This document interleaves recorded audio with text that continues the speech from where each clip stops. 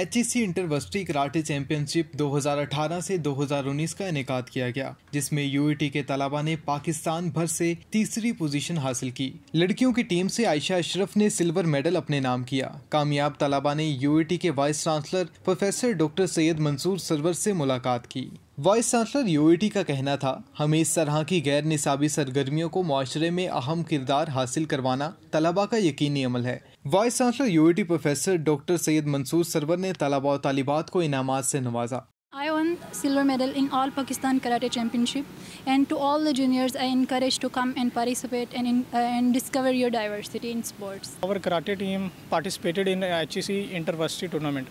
E e